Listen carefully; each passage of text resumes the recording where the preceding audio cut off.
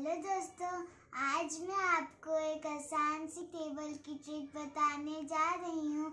इसमें आपको सिर्फ़ 12 का टेबल लर्न करना है और 13 से लेकर 20 तक आज मैं आपको ट्रिक बताऊँगी।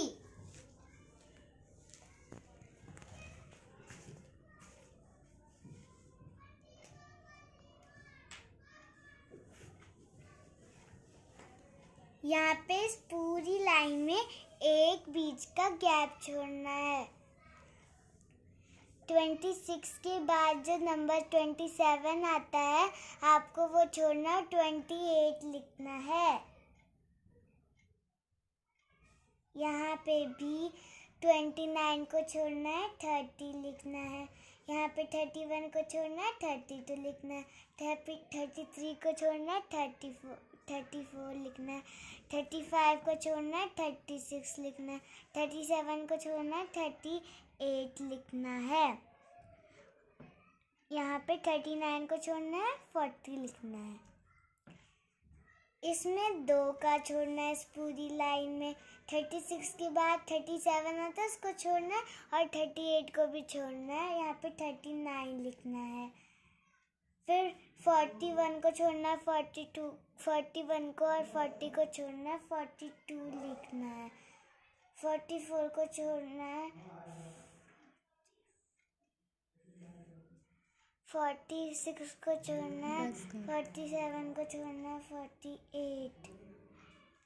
अब लिखते जाओ मैं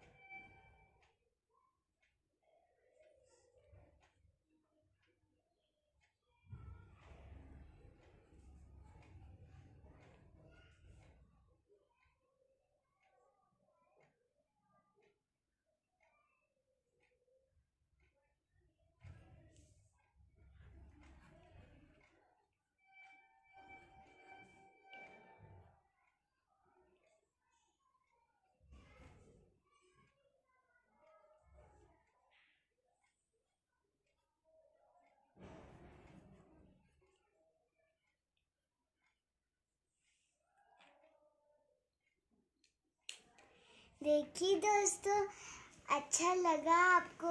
अगर आपको ये वीडियो अच्छा लगा तो प्लीज़ इस वीडियो को लाइक करें शेयर करें एंड प्लीज़ इस वीडियो को सब्सक्राइब करें। Thank you